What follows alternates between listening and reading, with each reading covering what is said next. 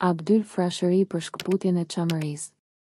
Tema, Epiri dhe përkatësia etnike e epirotëve është mbrojtur nga Isuf P. Bajrami, në Qendrën Rajonale për Studime Politike dhe Diplomatike pranë Akademisë Diplomatike të Shqipërisë, më dy mijë e gjashtë. Atdhetari i shuar i popullit shqiptar Abdyl Frashëri i drejton redaksisë së gazetës Monitor Universale të Parisit një artikull, i cili u botua në këtë gazetë në maj të vitit një mijë e tetëqind e shtatëdhjetë e nëntë. Zoti redaktor. Artikullit të botuar në gazetën Republika Franceze nuk i dhamë asnjë përgjigjeje, sepse një sjellje të tillë fare pak e pritnim prej një gazete që simpatizon luftën e kombësive. Franca qan gjithmonë humbjen e krahinave të saj. Banorët e Alsasës dhe të Lorenës rënkojnë kur kujtojnë privimin e kombësisë së tyre. përse një gazetë franceze i quan qesharakë shqiptarët, të cilët përpiqen të evitojnë rrezikun e një fatkeqësie të tillë. Nuk jemi savanë dhe as pretendojmë për të, por historinë e atdheut tonë e kemi studiuar dhe e dimë më mirë se kushdo tjetër. Banorët e Epirit i quajnë pellazgë. Herodoti, Tukiditi dhe Straboni dalin me konkluzione se ky vend nuk ka pjesë të Greqisë. Sipas Strabonit, Greqia nga veriu kufizohet prej Akarnanisë dhe gjirit të Ambrakisë. Pasi gjeografia e lashtë greke nuk u vjen në ndihmë grekëve të sotëm, po pyesim ata që kanë mendime të kundërta, se cila pjesë e Epirit është greke? Ai që pranon argumentet e sillogëve grekë do të besojë se Greqisë nuk i përket vetëm Shqipëria, por edhe Maqedonia, Thrakia, Rumania, Azia e Vogël, etj. Sipas vendeve të Greqisë së Madhe edhe Marseja e juaj i takon asaj. Epiri ka gjashtëqind e pesëdhjetë mijë banorë. Sa janë vallë grekët që ndodhen në të dhe ku banojnë? Në Korçë? Në Berat? Në Gjirokastër? Apo në Çamëri?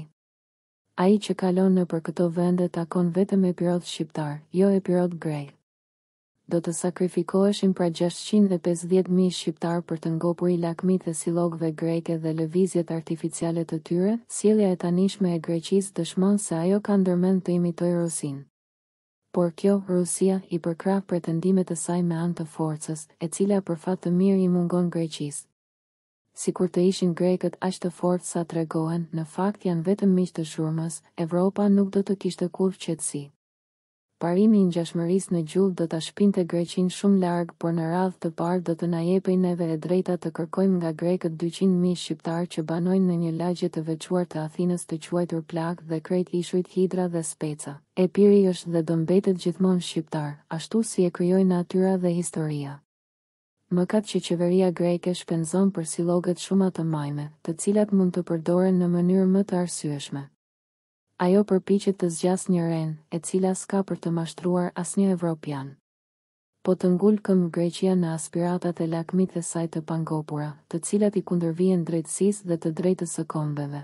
Shqiptarët kanë vullnet të patundur që të mbrojnë atdheun e tyre deri në fund dhe janë betuar të mos lëshojnë asnjë pëllëmbë toke dhe të vdesin për të po të jetë nevoja. Këtu manifestojmë mendimin e të gjithë bashkatdhetarëve tanë. Evropa nuk do të marrë përgjegjësinë e luftërave shkatërrimtare që do të inaugurohen për aneksimin e shëmtuar të tokave tona nga Greqia.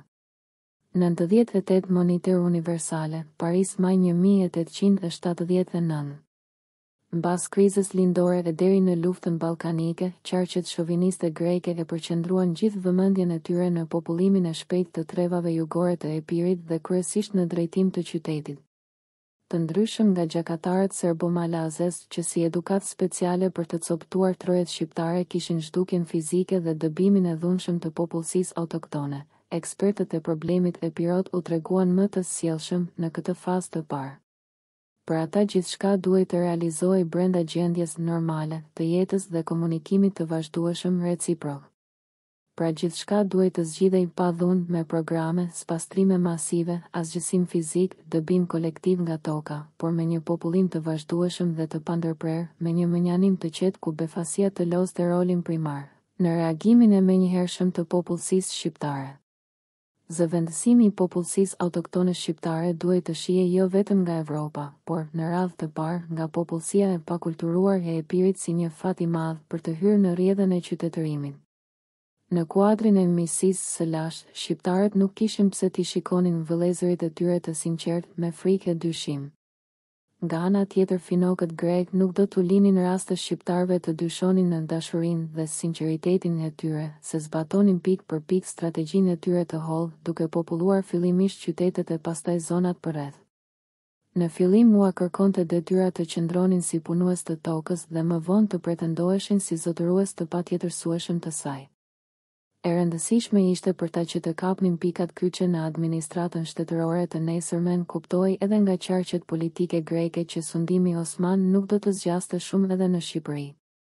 Shtrirja dhe zgjerimi i mëtejshëm i institucioneve fetare fanariote do t'i shërbente atyre për të bërë presion të gjithanshëm mbi popullsinë ortodokse të Epirit, për ta inkuadruar brenda strukturës shpirtërore të ortodoksizmit grek më lehtë.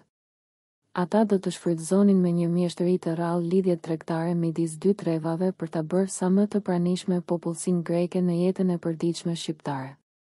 Të favorizuar nga formimi i shtetit të tyre dhe i vlerësuar nga Evropa e asaj kohe, ata do të përdornin të gjitha mjetet e propagandës për t'u fryrë burive pareshtur në dyert e qarqeve evropiane mbi fatkeqësinë e Epirit që kishte ngelur brenda strukturës së kalbur otomane.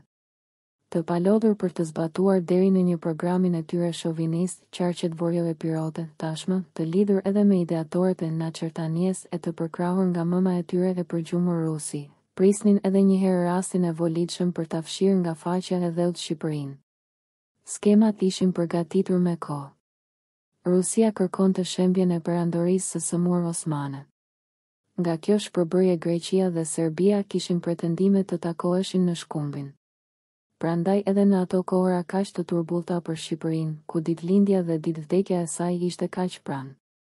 Asnjëra palë nga fuqitë ballkanike nuk e pranonin Shqipërinë si aleate të barabartë për të fituar gjënë më të shtrenjtë që kërkon një popull, lirinë dhe pavarësinë e tij. Greqia si Greqi edhe në këtë radhë jo vetëm që nuk do të pranonte aleancë me shqiptarët, por edhe do të bëhej më vonë një ndër bllokuesit kontinentalë për qeverinë e sapo formuar të Vlorës.